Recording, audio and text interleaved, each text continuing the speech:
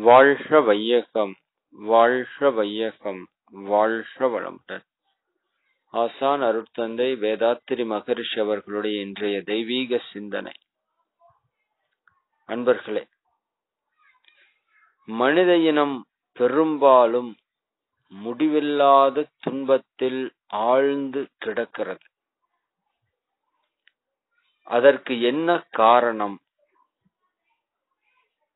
அந்த நிலையிலிருந்து நாம் முற்றிலுமாக விடுபடுவதற்கு நாம் செய்ய வேண்டிய செயல் என்ன? இவற்றை இன்று சிந்திப்போம்.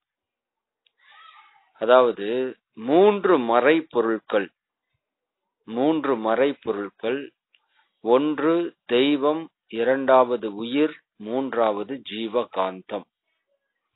இந்த மூன்று மறை பொருட்களை பற்றி சரியாக இந்த மனித இனம் விளங்கிக் கொள்ளாத காரணத்தினால்தான் இன்று மனித குலம் முழுக்க முழுக்க பெரும் துன்பத்தில் ஆழ்ந்து கிடக்கிறது. உடலிலே துன்பம் மனதிலே குழப்பங்கள் உறவுகளிலே சிக்கல்கள் பொருளாதாரத்திலே குறைபாடுகள் நாடுகளுக்கிடையே போட்டிகள் பொறாமைகள் இயற்கை சீற்றங்கள். சரிங்களா துன்பமயமான ஒரு சூழல்.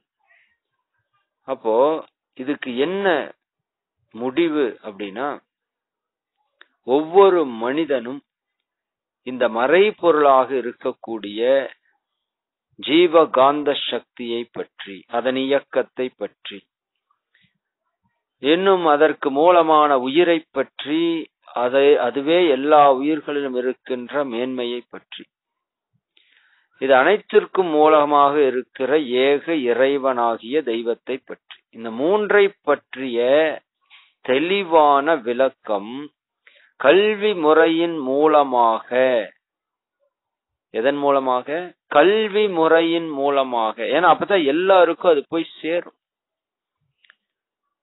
உதாரணத்துக்கு நான் ஒன்னே ஒண்ணு சொல்றேன். இப்போ வேதாத்திரியத்தை முழுமையாக கற்றவர்கள் யாராவது ஹிந்து கிறிஸ்துவன் இஸ்லாமியன் என்று பிரிப்பார்களா? நிச்சயமாக பிரிக்க மாட்டார்கள்.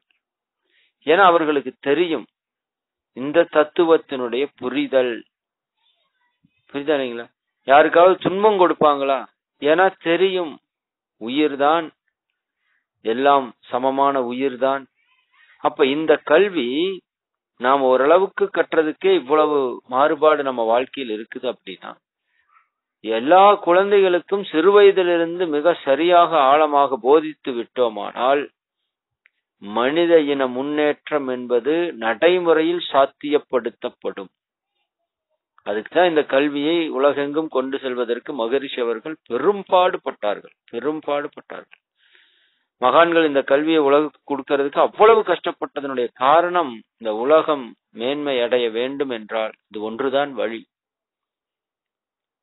ஏன்னா ஆன்மீகம் என்பது ஒரு இருட்டடிப்பு செய்யப்பட்ட துறையாக இருக்கிறது.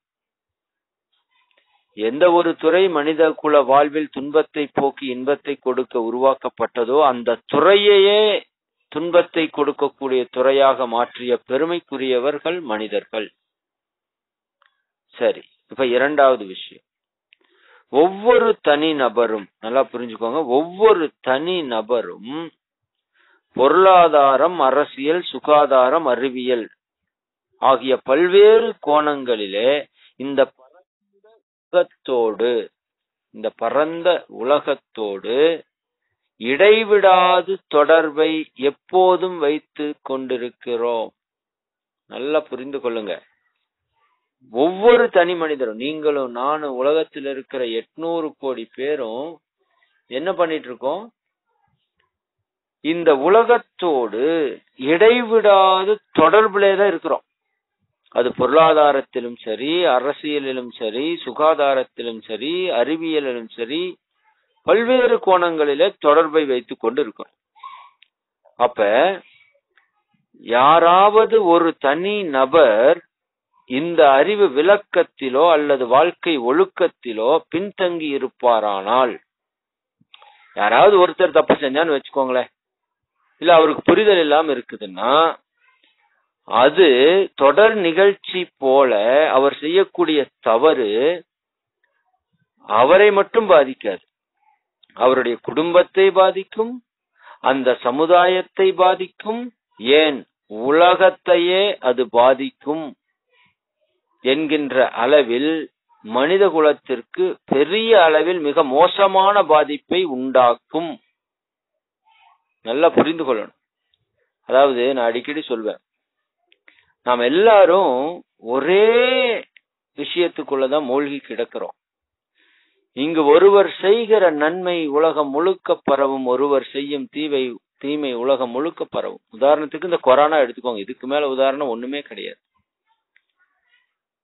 உலகத்திலே ஒரு நாட்டிலே ஏதோ ஒரு இடத்திலே தொடங்கப்பட்ட அந்த கிருமி சரிதாங்களா அது யாராவது ஒரு நபருடைய என்ன தவறாகத்தான் இருக்கும். அந்த கிருமி அங்கிருந்து வெளிப்பட்டு விட்டதுன்னு சொன்னா யாராவது ஒரு நபருடைய கேர்லெஸ் தானே. ஒரே நபருடைய கேர்லெஸ் தவறு இன்று உலகம் முழுக்க மனித இனத்தை வேறறுத்து கொண்டிருக்கிறதா இல்லையா? நீங்க சிந்தித்து பாருங்க. சிந்தனை செய்யுங்க. சரிங்களா? அப்போ ஒருவர் கண்டறிந்த கணினி இன்னைக்கு உலகம் முழுக்க பயன்படுவது போல ஒருவர் கண்டறிந்த மின்சாரம் உலகம் முழுக்க பயனளிப்பது போல ஒருவர் செய்யும் தவறு உலகம் முழுக்க மிக மோசமான பாதிப்பை உண்டாக்கும் என்பதை நாம் மனதில் கொள்ள வேண்டும். ஏன்னா நமக்கு பெரும்பாலான நண்பர்களுக்கு என்ன ஒரு தன்மைனா நாம சரியா இருந்தா போதும்பா. அடுத்தவன் எப்படி இருந்தா என்ன? அப்படி ஒரு மனோநிலை இருக்கு. ஆனா உங்க லைன் நீங்க வசிக்கிற குடும்பம் இருக்கிற ஒரு வீதின்னு வச்சுக்கோங்க. அந்த வீதிக்கு தண்ணி வேணும். நல்ல தண்ணி வேணும். வாரத்துக்கு ஒரு முறை அங்க தண்ணி திறந்து விடப்படும். அந்த தண்ணி திறக்கிறவர் அந்த வீதியில ஒரு இருநூறு வீடு இருக்குன்னு வச்சுக்கோங்க. இல்ல ஒரு ஐநூறு வீடு இருக்குன்னு வச்சுக்கோங்க. அந்த தண்ணி திறந்து விடுறவர் வர்றாரு. அந்த தண்ணி திறந்து விடுற இடத்துல இந்த வீதிக்கு போற திருப்புற ஆப்ஷனும் இருக்கு. பக்கத்து வீதிக்கு போற திருப்புற ஆப்ஷனும் இருக்கு. அவர் கொஞ்சம் அறிவுல தவறி அந்த இடத்துல விழிப்பு நிலை இல்லாம நம்ம வீதிக்கு திறக்காம அடுத்த வீதிக்கு திறந்து விட்டுட்டாருன்னு வச்சுக்கோங்க. உதாரணத்துக்கு சொல்ற வச்சுக்கோங்க. என்ன ஆகும்? சரிதாங்களா?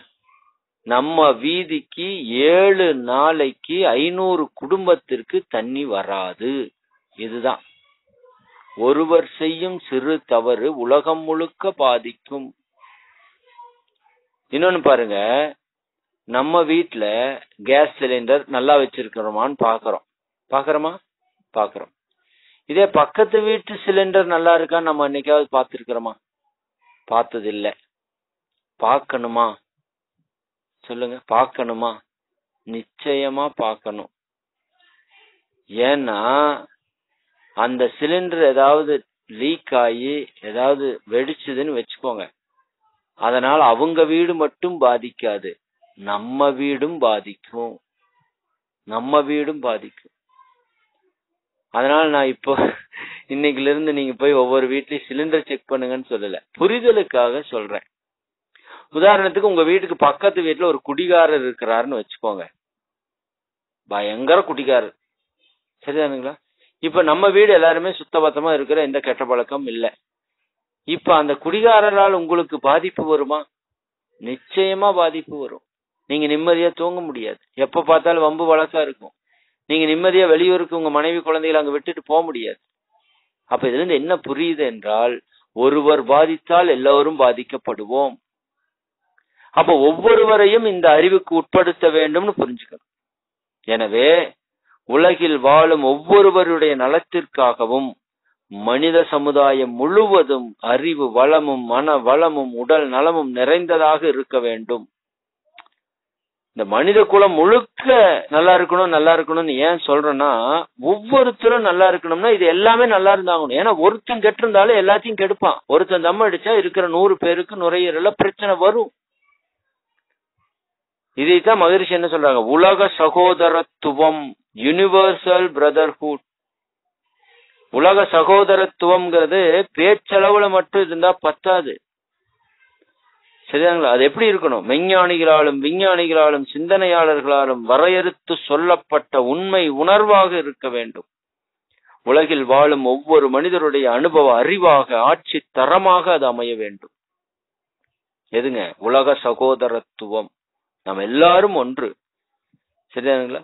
எங்கேயோ ஒரு பெட்ரோல் கிணத்துல இறங்கி ஒருத்தர் பெட்ரோல் எடுக்கிறார் நான் வண்டி ஓட்டுகிறேன். எவரோ ஒருத்தர் சோற்றில் சேற்றில் இறங்கி வேலை செய்வதால் நான் சோற்றில் கை வைக்கிறேன். இதெல்லாம் உணரணுமா இல்லையா நம்ம? அப்ப உலகமே ஒரு கூட்டமைப்பில் ஒரு சகோதரத்துவத்தில் சக உத்திரமாக இருக்கின்றோம் என்ற தன்மை உலக மக்கள் அனைவருக்கும் விதைக்கப்படும் போதுதான் அது அந்த மனிதருடைய அனுபவமாக அனுபவ அறிவாக அறிவாட்சி தரமாக அமையும் போதுதான் இந்த உலகம் அமைதியும் ஆனந்தமும் பெறும். அதற்கான ஒரு கல்வியை இந்த உலகிற்கு கொண்டு செல்ல முயற்சிப்போம். நாமும் உயர்வோம் என்று கூறி சிந்தனையை நிறைவு செய்கிறோம். வாழ்க வளமுடன்.